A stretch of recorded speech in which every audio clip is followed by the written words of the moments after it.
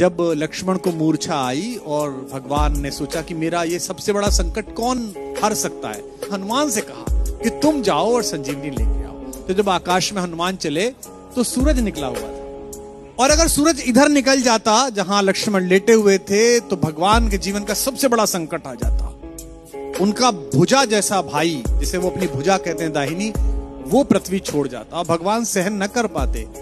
सूरज से मिले तो उन्होंने कितनी विनम्रता से बात की। ये सूरज, इतना याद रहे, संकट एक सूरज वंश पे है। लंका के नीच राहु द्वारा आघात दिनेश अंश पर है।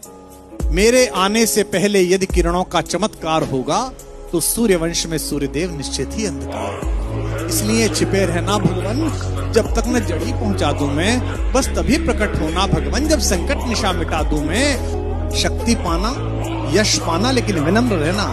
आशा है स्वल्प प्रार्थना ये सच्चे जी से स्वीकारोगे। आतुर की आर्थ अवस्था को होकर करुणार्ध न्यारोगे।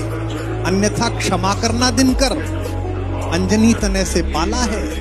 बचपन से जान रहे हो तुम हनुमत कितना मत वाला है। अन्यथा क्षमा करना दिनकर। अंजनी तने से पाला है। बचपन से जान रहे हो तुम हनुमत कितना मत वाला है।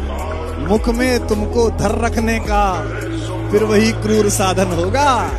बंदी मोचन तब होगा जब लक्ष्मण का दुख मोचन।